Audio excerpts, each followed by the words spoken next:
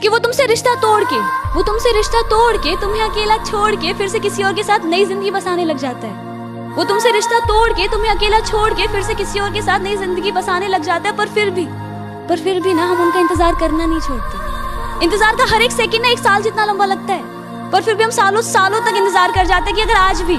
आज भी अगर हमारे दरवाजे पे हल्की सी दस्तक होती है ना तो दिल जोरों से धड़कने लग जाता है इस एहसास में कि वो इंसान तो नहीं, पर वो इंसान हम उनका इतना इंतज़ार करते कि साला वक्त भी सवाल पूछने लग जाता है कि बस यार, इतना वक्त तो मेरे पास भी नहीं। पर फिर भी ना हम उनका इंतज़ार करना नहीं छोड़ते